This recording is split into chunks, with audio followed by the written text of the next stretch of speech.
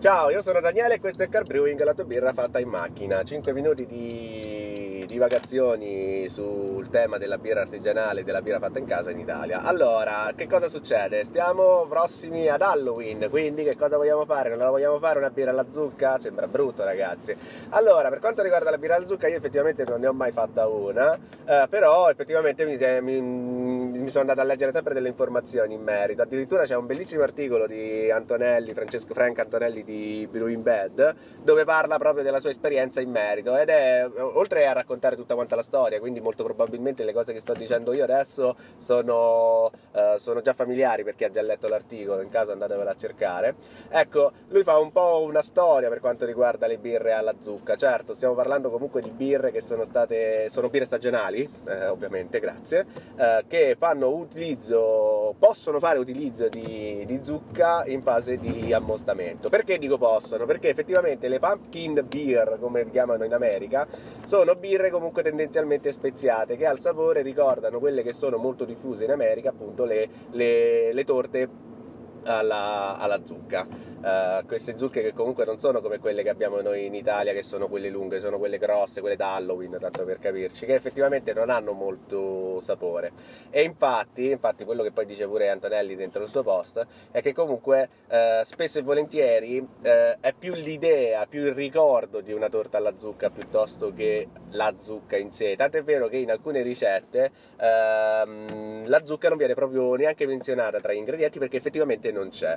Eh, come di solito come si, come si, consiglia di fare comunque una birra alla zucca, a me se non concesso uno volesse utilizzarlo? Tec- una tecnica molto eh, diffusa è quella comunque di tostare la zucca tagliata a dadini per una quarantina di minuti in forno in modo tale che si asciughi e diventa croccante eh, per una sorta di matlazione sotto certi punti di vista. E poi di utilizzarla addirittura in mesh. Il casino però è che comunque ehm, sporca parecchio quindi è consigliabile comunque uh, utilizzare una sacca BIAB o comunque un filtro, un, un, filtro molto, cioè una sacca da filtro per contenere tutte quante le, le, zucche, perché ricordiamolo comunque la zucca non apporterà né particolari zuccheri né particolari sapori.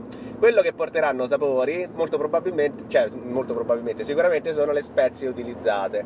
Per esempio le torte alla zucca, quelle americane, fanno molto uso di uh, chiari di garofano, uh, zenzero e, e altre spezie cannella e tutte quante le altre spezie così che comunque possono essere utilizzate in fermentazione.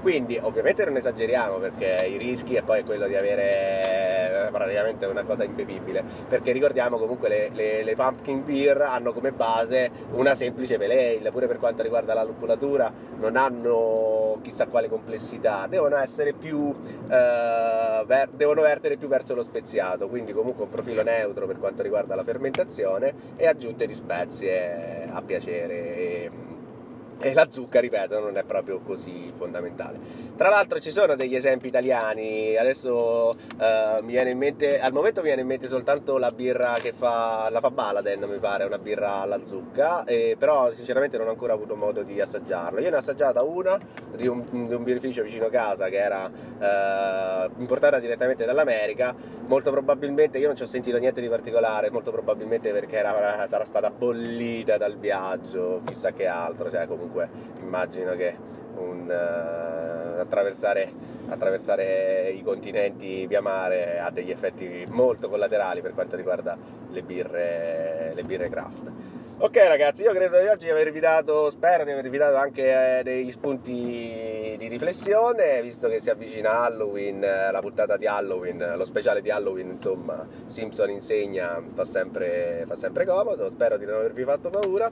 Eh, ci sentiamo, condividete questa puntata con i vostri amici perché questo podcast ha bisogno di voi, ha bisogno di sentire anche la vostra voce perché come dico sempre questo non è un monologo ma è un dialogo.